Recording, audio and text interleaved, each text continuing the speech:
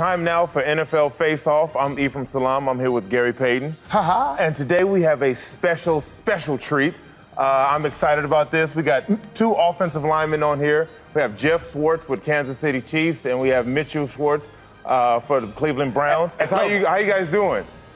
We're good. How are you? I'm good, man. Thanks for having me. I'm doing great, man. It's good to see these big cheeks and jaws uh, on, on, on the big screen and not all these chiseled little quarterbacks and, and wide receivers and running backs.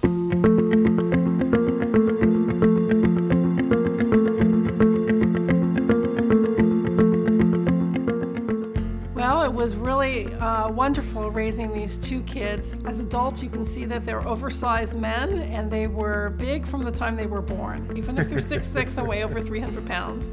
Yeah, they're still my babies.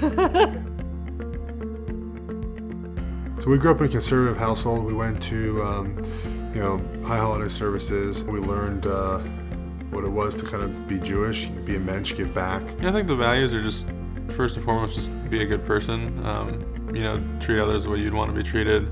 Um, you know, do things the right way. Um, be hardworking. Make sure if you make a commitment, you stick to it. First, I really didn't realize what it meant to kind of be a Jewish player in the NFL and what it meant to other people to have to look up to my brother and I. You see how much it uh, brightens people's days and, and um, they can look up to us and know that, um, you know, while they might not play football, they can make, you know, something greater themselves.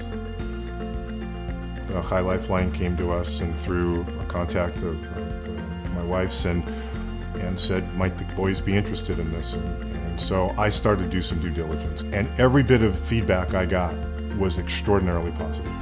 You know, you see these kids at the camps, and, and they're just you know one of the kids, and, and they're having fun, and uh, they're enjoying life, and they get a new perspective on it, and you kind of realize that it's just it's, it's something you want to be a part of. you just tell what they do is, is enriching and, and it may really make a difference. And for my brother and I and my family, uh, you want to be able to partner with organizations that really do make a difference. My goal for the dinner is to expose as many people as possible to the organization who maybe had not heard of it before, to understand the good work that it does. I think Chai Lifeline's inspirational uh, to a lot of families. You know, the, the way they're there for, for people in, in times of need and, and the way they step up when, when called upon. Um, you know, not every organization is like that. Being able to, to, to use you know kind of your what you do as, as a platform to be able to, to help other kids, it's uh, it was a no-brainer.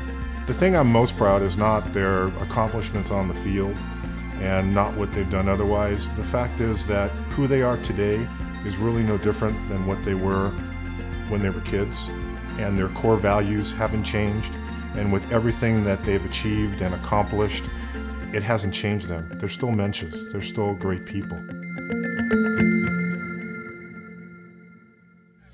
Gentlemen, Okay. I want to say congratulations to both of you guys. If you guys don't know, you guys are the first Jewish brothers to ever play in the NFL. Against so, each other. Against each other. So I want to Yep. say happy Hanukkah There you go. and may the Schwartz be with you. And uh, Schwartz be with you. Congratulations, man. guys. Thank you.